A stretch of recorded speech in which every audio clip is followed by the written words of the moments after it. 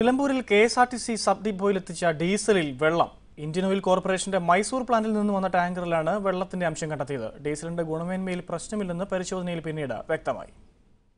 കഴിഞ്ഞ ദിവസം രാത്രിയാണ് പന്ത്രണ്ടായിരം ലിറ്റർ ഡീസലുമായി മൈസൂരിൽ നിന്നും ഐ എസിയുടെ ടാങ്കർ നിലമ്പൂരിലെത്തിയത്.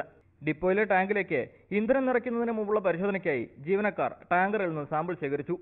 ബക്കറ്റിലേക്ക് എടുത്ത അഞ്ച് ലിറ്ററോളം സാമ്പിളിൽ മുഴുവൻ വെള്ളമായിരുന്നു.